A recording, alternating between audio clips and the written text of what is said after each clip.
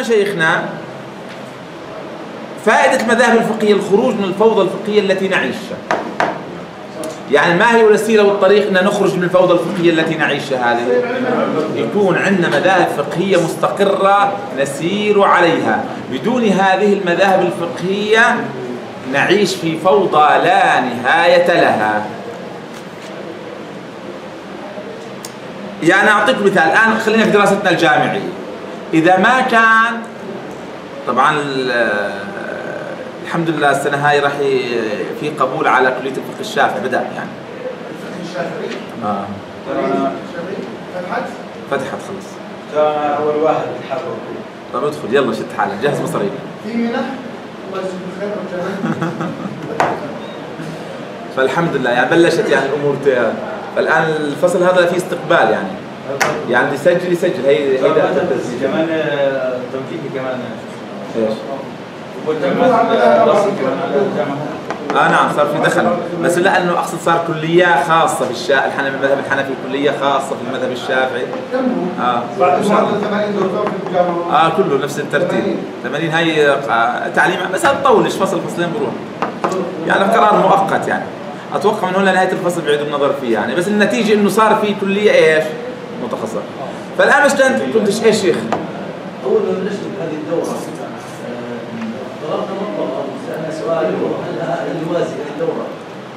اليوم العالي فقلت لنا إنه هي نفس المساق نفس الشيء لكن الطلاب عندنا لكن في مخرج من هذا الشيء. أغلب الأخوة الموجودين دكتوراه ماجستير.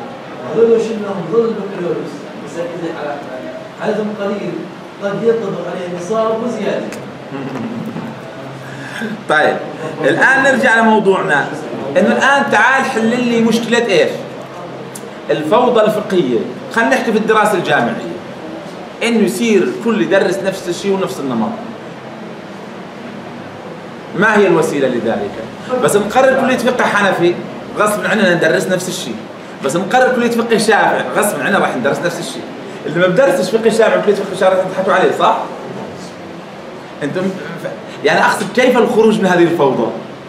في الإفتاء بس يقرروا مذهب شافعي أو يقرروا مذهب حنفي تنتظم أو لا تنتظم في العمل الآن في المساجد شو المشكلة؟ انه كل يدرس ما يريد ويقول لأنه ما في منها منهجية واضحة صح؟ فالخروج ما هو طريقه؟ ما هو الطريق الوحيد؟ هو وجود مذاهب فقهي بعديها مشايخنا هاي الشيخ فراس صح صح معنا يلا الآن شيخ فراس التلاعب النقطة الثانية عدم التلاعب بأحكام الدين. العوام الآن كيف نطلع العوام من مشكلة شيخ محمد؟ إنه أنا رأيي كذا وأنت رأيك كذا. عوام بتناقش بالأحكام الشرعية مثل ما بتناقش بالسيارات والطيارات وفي كل شيء كيف العوام نخرجوا من هذه الدائرة؟ كثير على فكرة هذا هذا كثير جدا. جدا. العامة والدوامين عوام. بس يعرف العامي يا شيخ محمد أنك أنت أفتيت بمذهب الشافعي فيعلم أنه لا يستطيع أن يفتي كما أفتيت إلا إذا درس مين؟ مذهب الشافعي. الآن حددته ولا ما حددتوش؟ بس يرى أنك تختار من الآية والحديث هو طوال الوقت فاتح إذاعة القرآن الكريم ويسمع أحاديث فيتجرأ على دين الله يعني منع العوام من التلاعب في الدين ما هو طريقه؟ مذهب فقهي. هاي أمامكم عبارة مثلا اليثفي محمد إبراهيم يقول فمن هم يا ترى أهل الاستنباط من هم احفظ حفظ حديث أو حديثين أو مشغول في تجارته أو غيره؟ يعني إلا هذا الطريق قبل محمد حسين مخلوف يقول إن تحذير عامة الناس وخاصتهم عن التقليد ونهيهم عنه مطلقا. والله خلينا نوقف معها. في كلام شوي غريب نقل عن ابن تيمية رحمة الله عليه. له كلام في تحريم التقليد. وكان حنبلي بس ما بعرف هذا اللي طلع يعني. وماشي على هذا الكلام مين؟ ابن القيم. طبعا هذا الرباعي نفس البعض يعني مع بعضهم يعني دائما.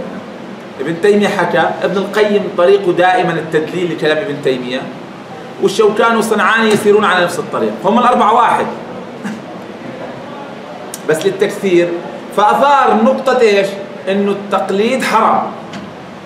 محمد حسين المخلوف له كتاب كامل في رد هاي الشبهة كذا. اسمه بلوغ السول. في رد شبهة إنه التقليد حرام. طب كيف يا عم التقليد حرام؟ العوام ماذا يفعلون هذا التقليد؟ هل معقول عوام نتركهم يجتهد من القرآن والسنة؟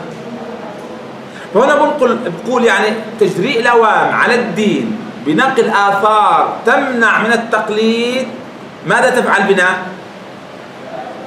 ستوجد شر مستطير لن نستطيع أن نوقفه. هي في كلام كثير جدا بخصوص هذا.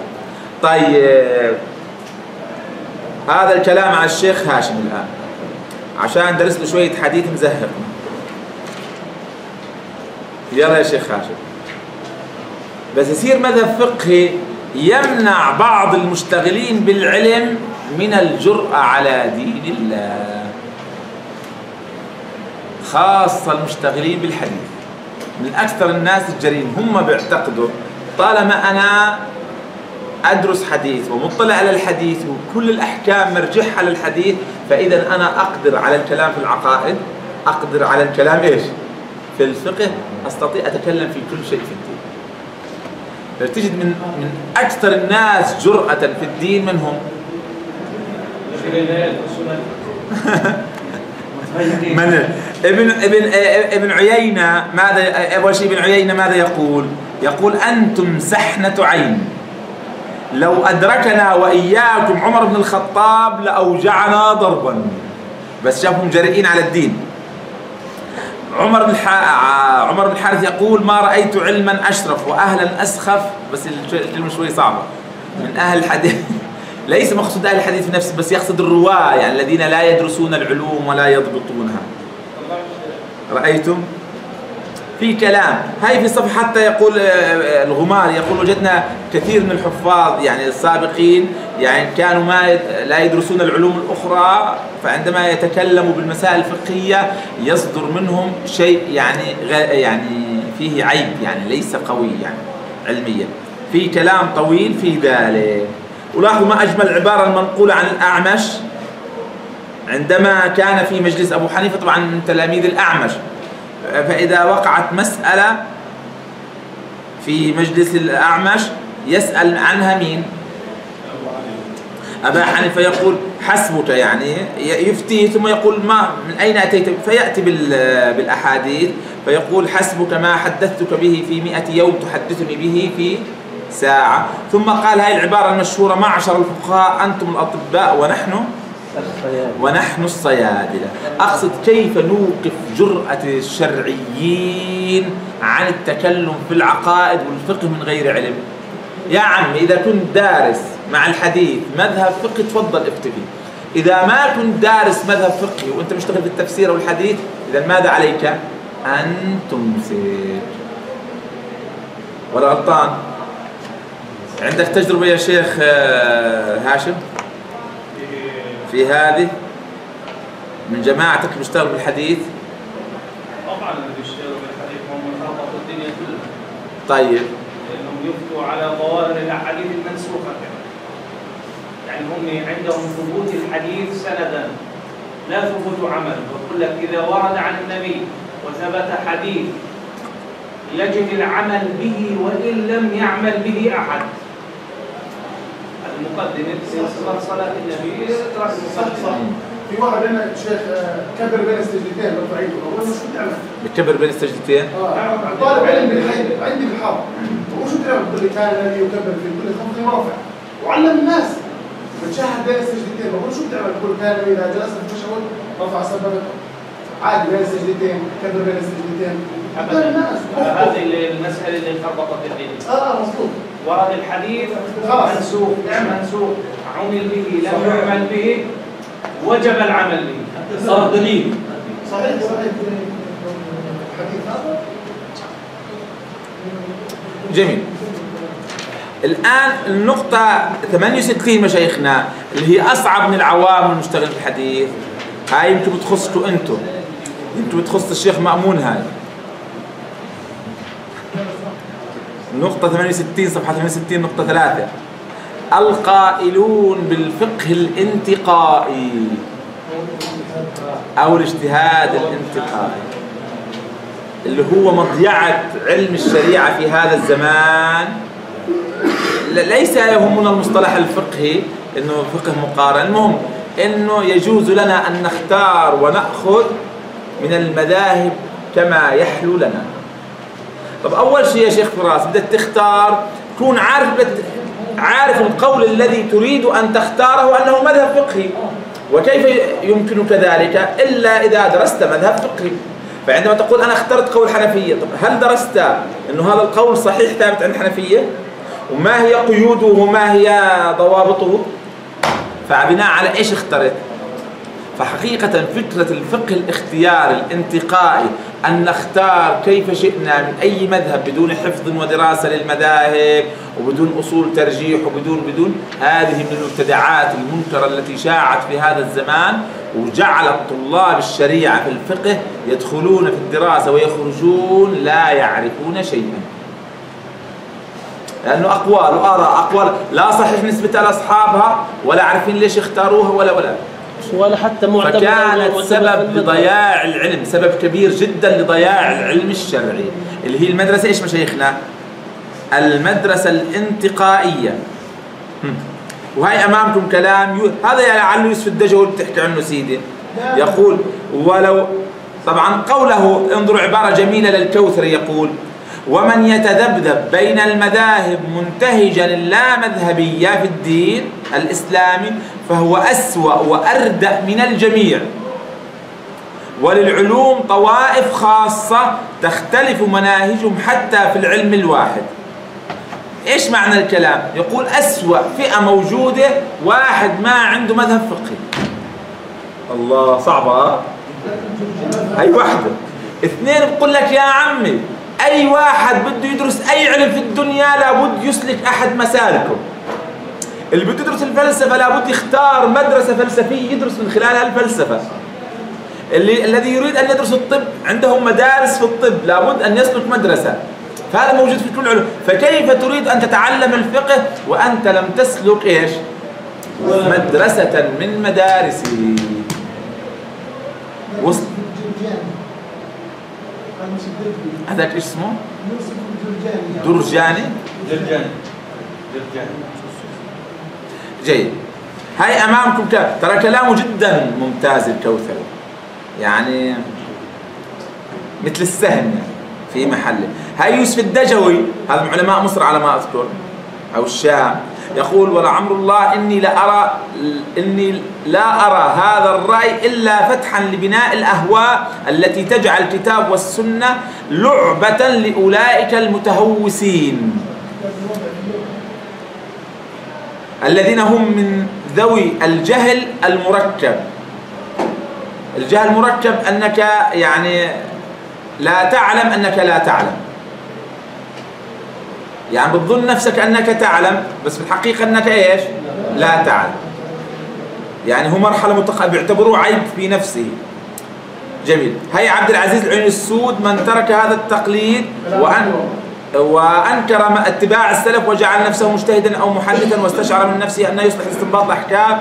واجوبه الم... فقد خلع ربقه الإسلام من عنقه. أو كاد أن ينخلع. آه مشايخنا ما رأيكم؟ بعديها صعوبة وعسر استنباط الأحكام من القرآن والسنة المتأخرين. يلا يا شيخ عبد الفتاح اتفضل احكي لنا لواحد متأخر كيف بده يستنبط أحكام من جديد. هو بيفسر على ظاهر الحديث فقط. بيفهم من ظاهر الحديث. أول شيء لازم يكون عنده أصول كاملة هي مفروغ منها صح؟ تفضل أعطيني هيئة قياس تستخدمها. ما بيصير تقلد الشافعي في طريقه في القياس لأنه إذا طالما تريد أن تقلده في الأصل روح قلده في المذهب وريح راسك صح؟ طالما أنك تريد أن تكون مجتهد مطلق لابد أن تبين لنا طريقة وهيئة جديدة في القياس هيئة إيش؟ جديدة في الدلالات صحيح؟ وفي غيرها من قواعد الأصول هذا وحده اثنين الآن الإشكالية وين مشايخنا؟ لو كان عنده هذا الشيء بده يكون تجمع في المسألة الواحدة الأحاديث والروايات الواردة الآن لو وجدت في كتب كثيرة تطبع في الأسواق جزء في حديث كذا جزء في حديث كذا جزء في ح... يعني حديث واحد يجمع الطرق والشواهد له فتخرج 100 صفحة 70 صفحة. بس حديث واحد بس يجمعه طرق وشواهد ومتابعاته. فعليه يجمع في هذا الموضوع كل ما يتعلق من أحاديث. والآيات وآثار الصحابة وكل حديث من الأحاديث هاي شو يعمل فيها؟ يدرس أسانيدها. وما بصير يقلد الذهب ولا بالحجر إنه هذا ثقة. وانتهينا. لابد يطلع على أقوال علماء. الجرح والتعديل هو يكون له رأي في هذا الرجل. لأنه إذا يريد أن يقلد شخص في علم الرجال أن يقلد المجتهد المطلق أحسن له صح؟ فهمتوها؟ فعليه أن يحكم على كل رجل. بعد ما يحكم على كل رجل يحكم على الإسناد بعد ما يحكم على الإسناد يحكم على الإسناد مع المتن. ويروح على الحديث الثالث والرابع والخامس على نفس هذه الطريقة. من يستطيع ذلك؟ وبعد ما يخلص هاي الشغل الطويلة بعد ما ينهيها بده يستخدم أصول هو يمشي عليها مع الآيات والأحاديث ويجمع يجمع بينها. وفي النتيجة راح يخرج لنا بقاعدة فقهية هي خلاصة ما ورد من الأحاديث. هذا الأمر حتى يتم يحتاج ست أشهر سنة سنتين ثلاث ونحن لسه إيش؟ حديث واحد. في موضوع واحد. بس بجمع إذا الطرق. الأمر صعب وبعيد المنال جدا. لاحظتم المسألة كم هي صعبة؟ في غاية الصعوبة. وبالتالي وجدنا وجدنا مين؟ وجدنا المتأخرين تركوا هذا الطريق لمعرفتهم صعوبته. أما عند المعاصرين يظن الفتوى متعلقة بأي رواية يسمعها بدون جمع واستقصاء وأصول؟ فلذلك تجرب. لذلك بعدما قال الدهلوي هذا الكلام وقرر اللي حكيت لكم إياه ماذا يقول في نهاية صفحة 369 أو 269 وبالجملة فالتمذهب للمجتهدين سر ألهمه الله تعالى العلماء. يعني هذا شيء من الله يسره وجعل العلماء يسيرون على إيش؟ على منواله. لاحظتم؟ الآن بعدها النقطة الرابعة يسر استخراج الأحكام هذا الرجال بعد ما جمع الآيات والأحاديث وشلع قلبه وبقي ست أشهر لسنة هو يشتغل بهاي الطريقة الشيخ رافع بعديها راح يخرج خلاصة هاي الأحاديث قاعدة صغيرة صح؟ والقاعدة هي يستخرج منها الأحكام أنا أذكى منه في هذا الأمر ذهبت وأخذت القاعدة من الشافعي أخذت القاعدة من أبي حنيفة. فشغله ست أشهر وسنة وسنتين خمس دقائق. أنا أخذته بدقيقة. لمجتهد معتبر محترم. ففي أي مسألة معاصرة في المعاملات في العبادات في الأحوال الشخصية نسأل عنها تجيب بدقيقة. تتذكر القاعدة في المذهب الحنفي إيش هي؟ وبتخرجها منها بلحظة فصار عندنا يسر استخراج الأحكام من الأصول والقواعد. بينما هو مسكين لسه شغال إيش؟ في الروايات والأسانيد وضايع. لسه مدور يطلع قاعدة. أنتم لاحظتم الفكرة ما أجملها؟ يعني أنا وهو في النتيجة راح نفتي من قاعدة بس هو لسه مسكين القاعدة يسويها. أنا إيش؟ مجهز عندي وبنيت عليها. أيضا هذه المدارس الفقهيه مبنية على اسس وأصول. فعندما تكون قاعدة فقهيه تكون مرت على مدارس عشرات الالوف أما هذا الشخص المعاصر هو لوحده. مثلا. ضعف شديد إحنا يعني هذا لو سلمنا لو لو لو. يعني هذا كله لو سلمنا له هذا الشيء غير مسلم بعديها مشايخنا هاي أمامكم. قلة الورع والتقوى. هاي مسألة ناقشناها قبل مرة هاي اللي هي بس أنا حبيت أنبه هنا إنه ما نقرأ عن علمائنا الأفاضل السابقين من كثرة عبادة حقيقة هي في الواقع موجودة ولا ينكر مثلها. إضافة للكلام اللي حكينا قبل شوية طيب الآن يا شيخ رافع إلى السؤال. إذا جاوبتنا عليه متزوج أنت ولا؟ آه، حاليا؟ آه. آه. لك واحدة ثانية. يعني لا قبل حاليا إذا محاضر ضمن الحمس إذا استطاعت تأتيني فا- فهذه ندفع لك مهر واحدة ثانية. بس. شو؟ طيب عشان إحنا نخليه يعني يستخرج كل ما عنده من طاقة. ندفع لك مهر للثاني شو رأيك؟ يعني شوف لنا شوي بس صدق الشيخ عشان صح سمعتك آه. الآن إيش هي؟ أعطيني فائدة واحدة لتقليد غير المذاهب الأربعة. يلا. نعطيك مهر من النار شو؟ بداش فائدة هذه مش فائدة؟ فائدة واحدة صدق الشيخ برحب ممكن تكون فائدة دنيوية مادية مثلا. أعطيني فائدة واحدة. أنا بعطيك تجعلنا نقلد غير المذاهب الأربعة. بس فائدة واحدة. يعني الآن طول الوقت عمال يصروا على إن إيش؟ بدنا نقلد غير المذاهب الأربعة. طب أعطيني فائدة واحدة. تعود علينا كمجتمع كمسلمين في تقليد غير المذاهب الأربعة. آه شيخ رافع عصرها اتباع النبي صلى الله عليه وسلم ليش أنت بس تقدم إحنا بتتبع إيش يوحنا يعني يعني هاي مش فائدة هاي سوء ظن بالأئمة صح؟ هاي مش فائدة صح؟ هاي تشكيك بالإسلام تشكيك بالمسلمين صح؟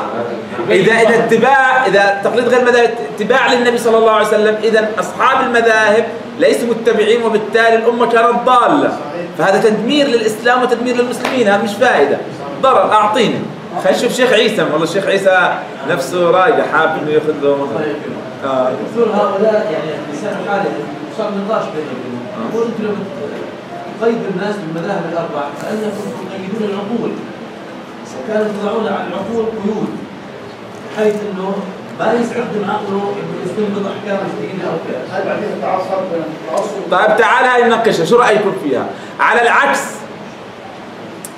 الآن الواحد بس يكمل دراسته ماجستير ودكتوراه وكذا بس يتكلم في مسألة يعني حتى لو إنه كان فاشل في دراسته مش المستوى العالي بس بيبقى إنه بيعرف في اسمه منهجية علمية يعني بيبقى يطلع.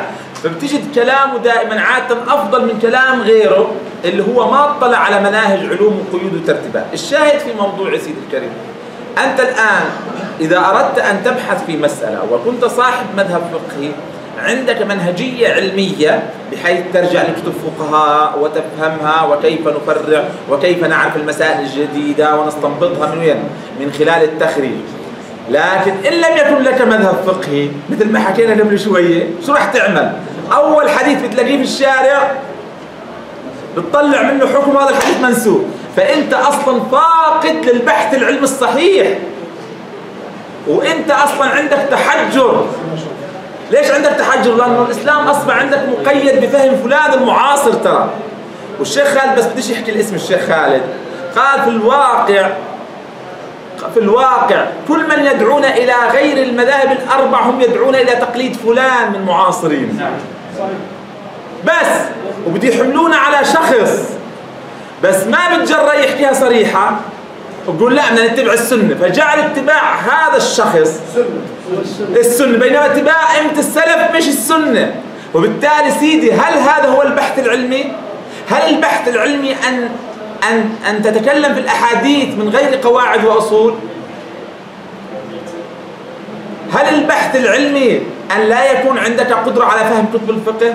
هل البحث العلمي فالدعوة للاجتهاد المطلق هي دعوة للتجهيل والإفساد العلمي. بينما الدعوة ليش؟ لتقليد المذهب. دعوة للاجتهاد والتفريع من قواعد وأصول وتكلم بعلم أي أي دعوة علمية عندما تقلد الثوري؟ طب هو لا يصح نقل مذهبه إلينا فكيف قلدته؟ إذا أنت جاهل ولا عالم. بس تفسر الحديث كما حكى الشيخ رافع قبل شوية رفع الإيدين بين الركوع رفع الإيدين بين السجود. صار يفعل ما يريد ثم يلصق إيش؟ حضرتك أي بحث علمي فيها. هذا هو التحجر وقمة التحجر والتعصب. أصبحت تتكلم بجهل؟ لا يوجد عندك منهجية علمية في البحث؟ لا يوجد معرفة الكتب وغيرها؟ صحيح؟ لا يوجد معرفة عندك بأسباب بطرق الاجتهاد وكيفيته؟ فهي دعوة للتجهيل. طيب مين عنده كلام؟ الشيخ فراس عنده كلام شوي أنا كنت اعطيك فوائد؟ أعطيني فائدة. سامع واحد. غير تقليد الاربعه يعني مم. يعني الواحد يستفيد مثل ما قالوا هذه ماديه بتصير يطلع التلفزيون. بصير يعني يشيروا عليه بالبنات. كمان في فائدة يصير يعني أنا بوافق يصير يعني هاي الفائدة الشيخ فراس لازم نجمع له مهر اليوم سيد العزيز كمان في هو حقيقة السير في هذا الطريق موافقة لفكر منحرف شائع وبالتالي تصيح يا شيخ جد الله بس تطبع كتب يندفع لك حق الملزمه 150 دولار وبتوصل ل 300 دولار وبتبني اللي بدك إياه من وراء طباعة الكتب وتحقيق كتب تخدم هذا الفكر. وتصبح لك مكانة ومنزلة وشهرة ورواج وكذا لأنك توافق. فكر إيش؟ يدفع عليه الفلوس. كمان ممكن الإمام أو الشخص اللي الوجه يعني ممكن إنه يمشي مع هذا التيار عشان يكسبوا ثقته وبعدين يجرهم جهة المذاهب الأربعة.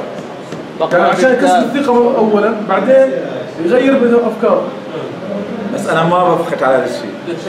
نحن يعني لسنا يعني نحن الطريق الوحيد الذي نسلكه هو الصدق مع الله عز وجل.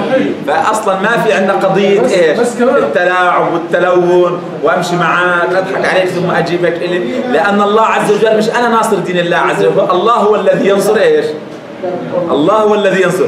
فلسنا لسنا بحاجة لإشاعة الإسلام والدين للطرق إيش؟ الملتوية. الملتوية والكذب والخداع. نعم. الله أحق بدينه منا. مشكلة بس إيش؟ تجاوبنا على سؤال بسؤال؟ هذا الفكر خلاف الآن شو الهدف من ابقائه يعني ليش مخليه؟ هذا السؤال.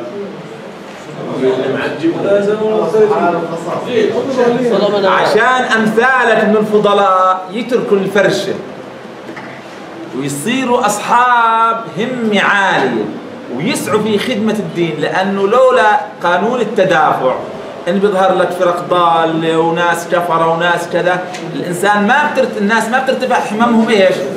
في خدمة هذا الدين اللي بيظهر أثره فيما بعد نشر الإسلام وغيره.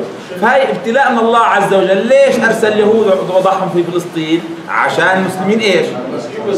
عشان المسلمين يفيقوا ويصحوا كذا. بالتالي نحن الآن أهل السنة معاقبين لحبنا للفراش للكسل للخمول الشديد إيش؟ عندنا. فمثل ما سمعت يعني أحد الأخوة مرة بيحكي لي بيحكي حال هؤلاء مثل الفيروسات. لابد له من العلاج فبالتالي فهذه الآن بتكون بالجسم فبتحتاج لمضادات وبتحتاج فهي بتحفز إيش؟ بتحفز الشخص يأخذ علاج ويتقوى لدفعها فأقصد هاي ابتلاءات الله عندما يظهر مثل هذه الفرق التي تضل وتشوش على المسلمين حتى الناس يخرجوا من كسلهم في خدمة إيش؟ وترتفع الهمم في خدمة هذا الدين. ونصرته. هذا التدافع هذا التنازع يظهر الإسلام. وصلت؟ الآن التمس... التمسك وتوليتهم شأن أمر المسلمين. إذا نحن الشرعيين لحد الآن مش قادرين نحدد موقفنا من الشريعة كيف نصل للحكم الشرعي.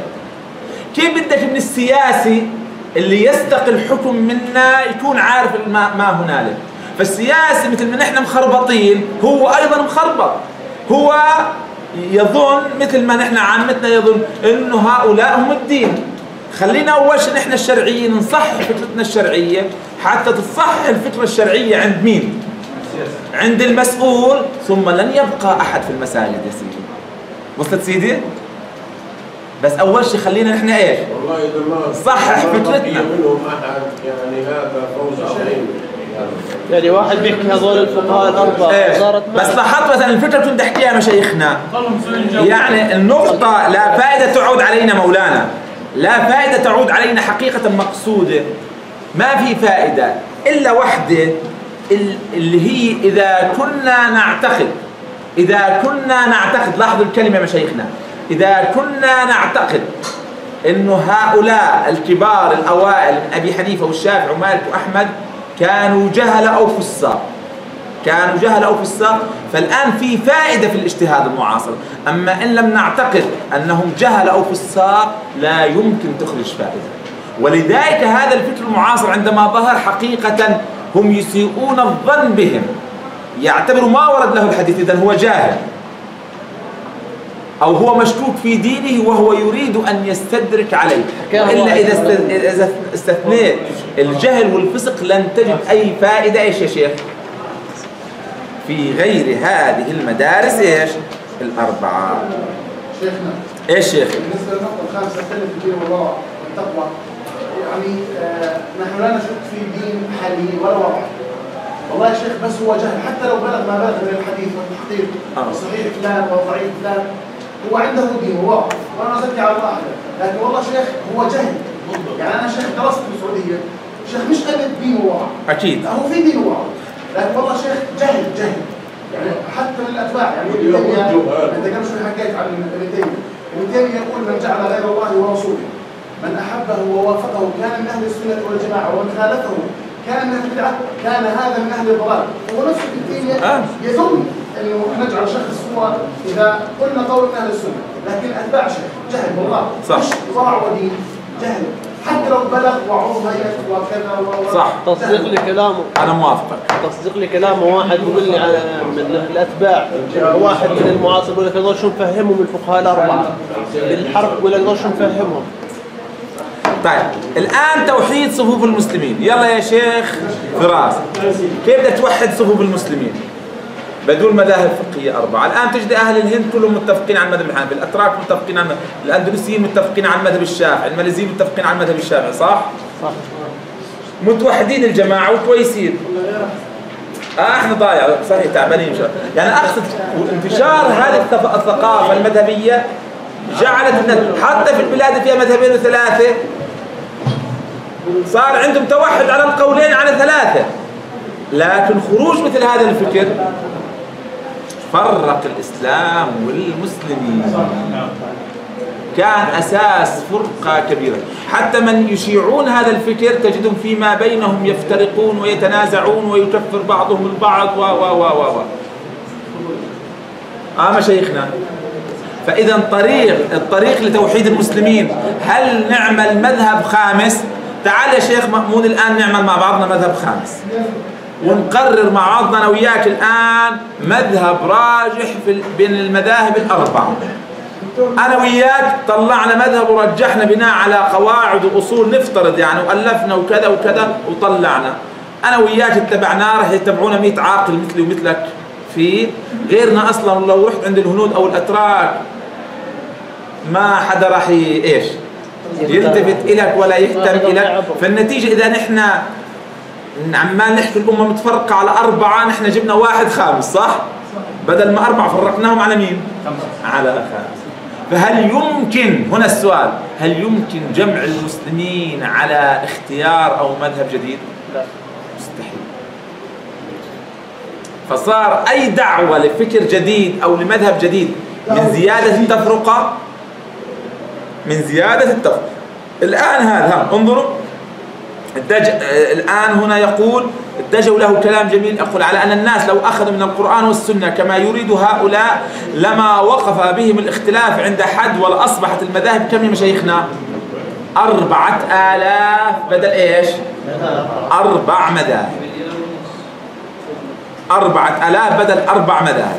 طيب مين عنده زيادة على هذه الفكرة التي طرحناها؟ من عنده زيادة على هذه الفكرة التي طرحناها ذكرت هنا آه، صاحب كتاب ميزان الشريعة اللي هو شعراني بس سؤال مين شعراني؟ عشان أحكي لك في قول. الشعراني هذا مشهور العلماء الشافعي الصوفي. طيب آه، في واحد شعراني شعراني ما بعرف. الشعراني. الذين ألفوا في صلاة النبي. ذكر كلام الشعراني أو الشعراني حكى ولو أدركنا أبو حنيفة الآن وأدرك أبو حنيفة هذا هذه الأحاديث التي جمعت لجزمنا أنه سيرجع عن مذهبه. هذا كلام الشعراني في ميزان الشريعة. موجود؟ مش ميزان الشريعة؟ ميزان الكبرى. الميزان القرآن موجود في صفة صلاة النبي. موجود هذا الكلام في صفة صلاة النبي. الشيخ الألباني في الحاشية على الشعراني هل شو شو وجه الكلام؟ أنا قرأته كمان. قرأت آه. قرأته في نفس الميزان. آه. طب شو؟ هل تراجع يعني الآن سيد الشيخ يعني هذه المشكلة في عندك الملتقطة يعني بتلقطه هو صاحب بدعة شخص بيكون معين صاحب بدعة وصاحب هوى فيذهب. وفي الكتب ويبحث عن كل من صدر منه فكرة إيش؟ توافق هواه وينشرها ويطبع الكتاب ولذلك تجد يعني كثير من الكتب التي طبعت لأن فيها جملة ولا جملتين توافق هذا الفكر المعاصر وجدناهم إيش؟ طبعوها وأشاعوها وانتشرت. الشاهد في موضوعي الشاهد في موضوعي الآن أبو حنيفة أي كان هل في أحد له العصمة؟ لا. ممكن تصدر منه عبارات تكون غريبة وليست دقيقة علمية. الآن تجد يعني معذرة في الكلمة هاي لا نريد. تجد كثير من الشافعية مثلا ما اطلعوا على مذهب سادتنا الحنفية ما اطلعوا على أدلتهم فيقولوا اي نعم الحنفية ما عندهم مش دليل. قولهم هذا راجع لأنهم ما درسوا المذهب الحنفي وما عرفوا أدلته فبقوا يتناقلون جملة آه نحن عندنا أدلة لا توجد عند الحنفية. بس من كان عالما كبيرا من الشافعية ومتقن وكذا يقبل مثل هذا الكلام؟ يرفض هذا مثل هذا الكلام يرفضه. الشاهد الشعراني فاضل عالم كبير لكن هل كل ما يصدر منه okay okay okay؟ فهذه المقولة التي صدرت منه لعدم هو اطلاعه. على المذهب الحنفي. يعني ما صدرت على من هو أعلم منه أصلا. وصلت؟ يعني فالشعراني فيها ما كان ضابطا ما كان متقنا. ما كان. فبالتالي هذه المقولة اللي صدرت منه مردودة لوجود شواهد مرت معنا إيش؟ تاريخية وهناك تواتر وهناك فكر وكذا وكذا. يبين خطأها وعدم صحتها أصلا. فلا نأتي ونتمسك إيش؟ نتمسك بها. وصلت؟ فهو فيما قال مخطئ. الآن شعراني نأخذ منه ألف مسألة أخرى. نأخذ منه. بس في هذه الفكرة ما كان محقق. أنا العبد الفقير يمكن لهم اعطيته عشر مسائل وأنا لا أشعر بناء على معلومات عندي خطأ. بس أعطيت في المقابل ألف مسألة صحيحة. هل لاني حكيت مسألة خطأ يرد كل ما قلت؟ بشر كلنا يقول إيش؟ يصيب ويخطئ ففي بعض مسائل. فالآن نجعل نلقطها عشان تخدم إيش؟ فكرتنا. ونجيبها ونوقفها ونجيب ثلاثة أربعة أخطأوا تاريخيا في التاريخ. وقالوا مثل هذه الفكرة لا تقبل لأن يوجد عندنا ما يعارضها من أشياء متواترة. وصلت سيد الشيخ فلا يضر مثل هذا. ممكن يجد عن الكبار عن غيرهم عن غيرهم إيش؟ عن غير أعطيك مقولة مثلا لسه مقولة الشعراني ولا حاجة بالنسبة لي. ينقلون عن أبي يوسف. في أحاديث إيش؟ ال- الأوقاء الوقف. أبو حنيفة تعرفون؟ في الوقف. في الوقف. أبو حنيفة يقول بعدم لزوم الوقف. فينقل عن أبي يوسف. يقول لو وقف أبو حنيفة على ما وقفنا عليه لرجع عما قال. هاي بنسميها نحن مقولة تاريخية. الله أعلم بصحتها عن أبي يوسف. لو سلمنا بصحتها عن أبي يوسف هي تعارض مسلمات العقول. فلا نوافق عليها. ولا نجد علماء المذهب في الداخل وافق عليها من جهة التطبيق إيش؟ أمر آخر. من تطبيق العملي. فليست أحاديث الوقف من الأشياء التي تخفى. هذا باب فقهي. مش حديث في سنة أو مستحب مختفي هنا وهنا. هذا باب. فإذا إمام كبير يخفى عليه أحاديث باب من الأبواب هذا ليس إماما أصلا. هذا واحد. اثنين أبو حنيفة نقل عنه أنه حج خمسين حجة. آه، عندما أجبره بني أمية على القضاء ذهب إلى مكة والمدينة وبقي ست سنوات. وكانت أوقاف الصحابة مشهورة لا تخفى. الأيام هاي أوقاف سيدنا آه، عثمان لهسه بيحكوا عنها وله رصيد وله حساب وكذا. فكانت مشهورة جدا. فإذا كان بسطاء الناس يعرفون أن الصحابة لهم أوقاف. أبو حنيفة ما كان مطلع الصحابة لهم أوقاف. وعندما نقرأ الروايات والطرق التاريخية في أوقاف فلان وأوقاف فلان وأوقاف فلان وأوقاف. فهذا ليس شيء مما يخفى. لاحظت؟ فنجد هناك نقل مقابل لو أردنا نستمر فيه نجد متواتر وشيء مسلم. طب ليش أبو حنيفة ما حكى بلزوم الوقف؟ لزوم الوقف هو أصلا مخالف للقياس وهو بحث عرفي وليس بحث نقل حديثي. يعني أنا صدرت مني عبارة أن هذا وقف. طب الذي يحدد عبارة أنه هذا وقف وليس وقف؟ أنه مجتمعيا نحن شائع بيننا الوقف ومعناه أن هذا أخرجته من ملكي وجعلته على ملك الله. إذا كان في ثقافة بيئتي وثقافة مجتمعي هذا غير موجود وهي فكرة اقتصادية. فلا يكون ما يصدر مني من عبارات محمولة على أنها إيش؟ وقف وإنما محمولة على استخدامنا العرفي على أنني تصدقت بمنفعتها. فعند أبي حنيفة كان الوقف هو تصدق بالمنفعة وبقاء العين على ملك الواقف. فمشى فيها على ما هو شائع في مجتمعه وعرفه الآن في مكة والمدينة نعم كان شائع عندهم بحيث تخرجه من ملكك وتبقيه على ملك مين؟ الله تعالى وبالتالي لا يجوز لك الرجوع. ما الدليل؟ المتواتر من أقوال أبي حنيفة في ذلك. أن أبو حنيفة رضوان عن رضوان الله في ظاهر الرواية عنه هو أفتى في ظاهر الرواية لو قضى قاضي بأن الوقف يلزم يلزم. إذا أبو حنيفة كان يعرف بالوقف ويعرف أنه أهل المدينة وغيرهم من المجتهدين يقولون بلزوم الوقف بحيث جعلها مسألة اختلاف. ولو قضى قاضي قضاء القاضي رافع للخلاف هي متواتر عن أبي حنيفة. أما تلك الرواية تاريخية عن أبي يوسف. فجعل أنه لازم فبالتالي طالما انه مجتهد آخر قال واعتبرنا قوله اذا هذا له أدلة ولا مش أدلة؟ اذا كان هو مطلع على أقوال الفقهاء واختلافهم في الوقف وعلى أدلتهم وغير كذا وكذا وكذا لكن مع ذلك عرفه وثقافة مجتمعه ما كان عندهم وقف. فكيف يقول بلزوم ألفاظ عندهم في الوقف لله تعالى وكان المجتمع لا يستخدمها؟ فسيحمل الناس ما لا يطيقون. فيما بعد في زمن أبي يوسف ومحمد شاع الوقف أيضا في الكوفة فصار لازما والفتوى على قول مين؟ أبي يوسف اقسم إن كنت صاحب فهم مستقيم تستطيع أن تحمل هذه العبارات التاريخية وتؤولها وتحملها على ما لا يخالف المنقول المتواتر بس إن كنت صاحب هوى بتروح بتلقطها عشان تهدم المذاهب الفقهية وصلت فكرتي؟ وهذا منقول عن مين؟ عن أبي يوسف إيش؟ يعني كتاب الميزان أصلا يا أستاذ ما الف الا لأن هذا الامام قام ال- الناس الذين يقولون أن هذه المذاهب أصلا لم تقم على أدلة. فقام بتاليف هذا الكتاب لبيان أن المذاهب كلها آه طبعا فكرة الميزان. الميزان. أنت الميزان طبعا فيه يعني أخطاء كذا كذا. وفي عبارات ليس لو أردت أن أجمع لك عبارات من الميزان خاطئه كثير جدا وأفكار غريبة شوية لكن في المقابل لو تنظر للميزان نظرة إجمالية بتجد قام بعمل رائع. جمع ما بين أقوال فقهاء المذاهب ما بين إيش؟ ما بين آه، الفتوى ساعدني وما بين التقوى. يعني جاء للخلاف بين الحنفي والشافعي قال هذا ذهب إلى ما ذهب إليه اخذا بالفتوى. هذا ذهب إلى ما ذهب إليه بالتقوى. على التقوى. فجعل إنه هذا هو ميزان الشريعة إنه أقوال الفقهاء في المذاهب الأربعة تدور بين تقوى وفتوى. يعني أثناء قيامه بهذه ال- هذه الفكرة وترتيبه جميل جدا وقع في أخطاء يعني نقولات وكلام. نعم ما فيها مشكلة.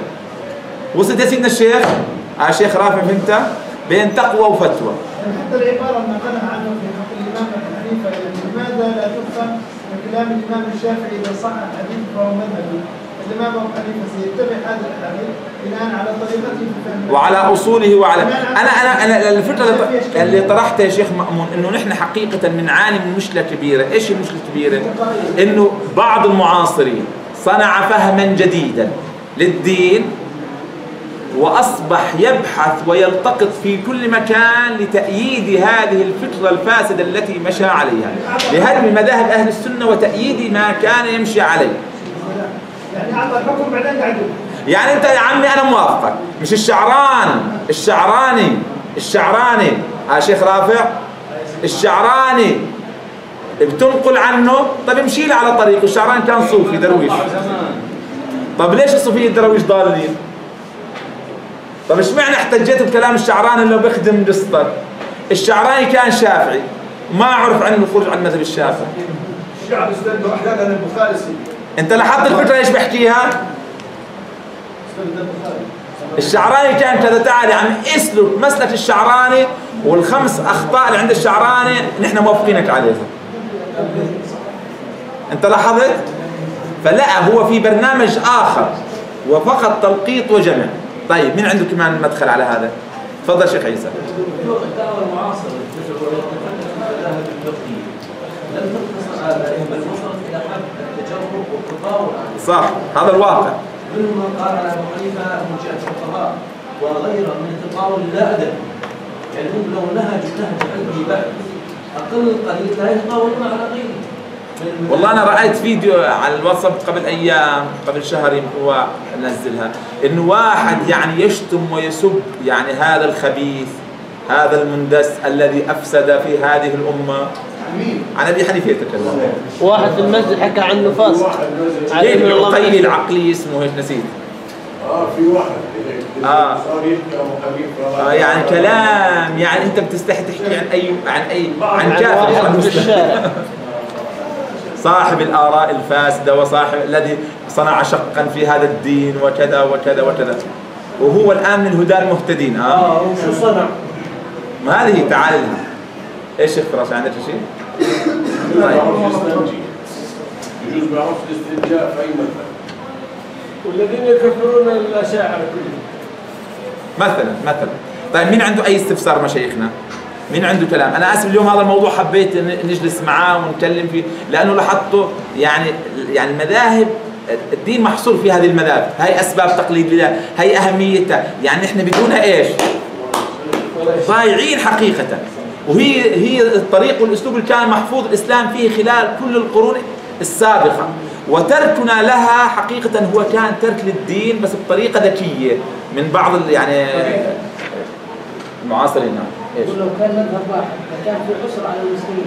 جدا. جدا مش بس الذين عسر يدعون إلى مذهب واحد آه، ما راح يكون في عسر لأنه ما في غيره.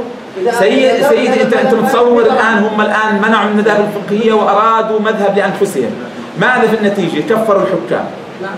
جامع جعلوا جماعات تقتل المسلمين لأنه ما في إلا رأي واحد صح؟ وأله بعض الحكام. وأله بعض الحكام كفروا أله من جهة. وبعدها كمل كمان تعال في المسائل العبادات صار الدين أنا يعني بلاحظ جزء كبير من المتدينين صار مجموعة معقدة مجموعة معقدين. لأنه هيئات وصور. ضمن وجه وصور عجيبة فيها تشدد.